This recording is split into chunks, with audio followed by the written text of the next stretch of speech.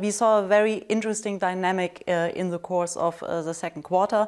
Obviously, the strong growth driver for us has indeed been e-commerce. Um, we still see much stronger growth uh, in our e-commerce businesses uh, than what we had uh, prior to the pandemic. Looking at our express network, looking at our parcel network here in Germany, at our e-commerce solutions uh, division, it is too early to tell whether this is going to be a sustainable acceleration of the e-commerce trend. There are, of course, some good arguments for that.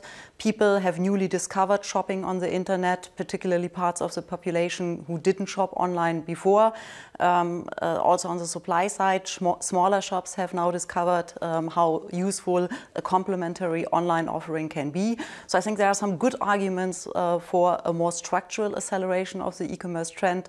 But in terms of hard facts, it's simply too early uh, to really uh, say that for sure. All right. Um, what kind of clarity then do you have around the freight forwarding division? Because obviously we we've watched the airline industry with close interest, uh, and we've seen some uh, shift from belly uh, haulage through to in plane haulage.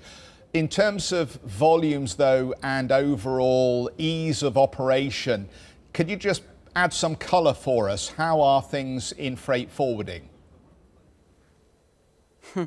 Yeah, another really uh, good uh, question. And I think forwarding is even more difficult uh, to predict uh, than what we are seeing on the e-commerce side. In e-commerce, it's clearly a structural growth trend. The question is how strong is that growth uh, trend going to be? What we have seen in uh, air freight in the second quarter has been a hugely distorted market.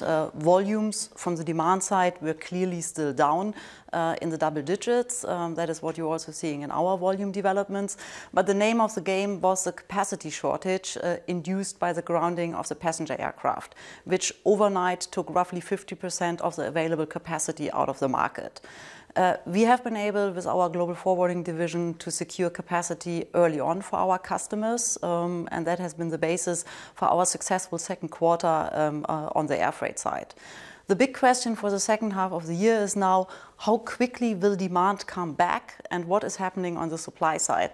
I think the anticipation is uh, that it will take some time for regular flying to resume, uh, particularly intercontinental. So there will be a continued shortage on the capacity side. I think that's for clear.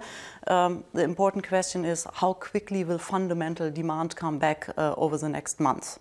Mm, okay, well, obviously there's a lot of opacity here. Let, let me ask you, I mean, both those divisions, though, actually showed an uplift in revenue. Where there's been some decline, um, that's notable. I think it's been in the supply chain story. Can you tell us a little bit about DHL supply chain and why you've seen a revenue decline?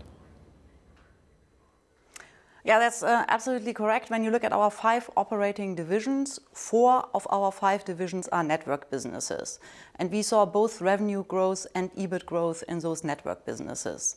The one division where we saw a decline in both revenue and EBIT but we kept a profitable positive number for the second quarter was our supply chain division.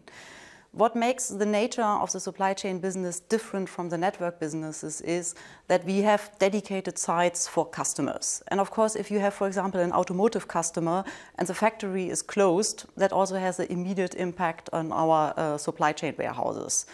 We tried to redeploy our people to other parts of the operation where there was activity, but that didn't always work. And of course, if the customer um, is shutting down um, uh, its operations, that also has an impact uh, on our revenue. And that is why our supply chain division was the most affected in the second quarter, both with regard to revenue and EBIT.